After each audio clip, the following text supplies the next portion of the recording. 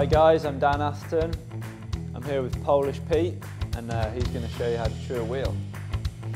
Dobra, możesz spadać teraz rad szczurze. Exactly.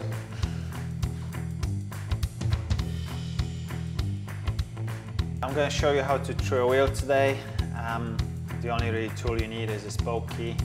Uh, this one's pretty cool because it's got loads of different sizes on it so you can use it for different um, wheels.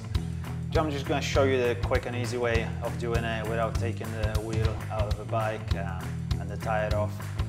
We basically we start, you know, we spin the wheel, put the spoke key the closest to the rim possible and there's an obvious, you know, ding and the wheel, the rim is pulled to the left. Um, so like the main things you need to remember is if your wheel is pulled to the left, you want to pull it back to the right. So you should tension the drive side spokes.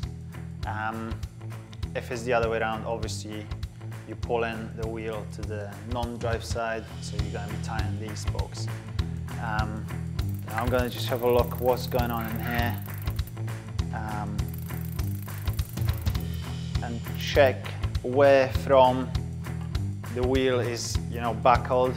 Like this is pretty much the, the part of the wheel that we need to pull back this way towards me. Uh, so we're going to be in the drive side spokes. Uh, you can see this spoke is really loose already, so I'm just going to give it a few turns um, just because it's much looser than the other ones.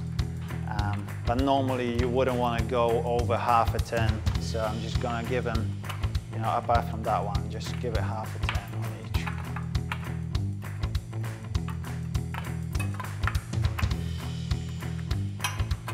At the same time, you want to just make sure that these spokes are not super tight. Um, if they are, you can undo them a little bit, but in our in our case, it's not um, it's not happening yet. This uh, we still got a little bit of a buckle. We're just going to repeat the step, the same step, um, you know, half a turn at a time until the wheel goes back into shape. This this spoke was really loose, so I give it a little bit more just like a full turn and then use half a turn. You never want to overdo it, that's why you just go with a little steps, step at a time.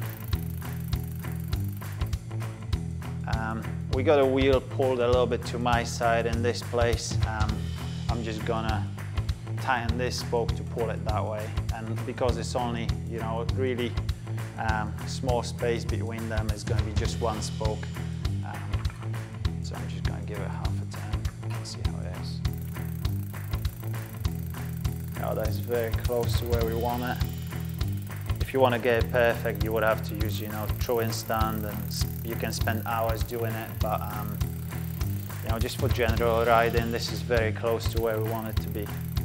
Here we are, that's it, as simple as that. Uh, For more tutorials like this one, head to silverlinetools.com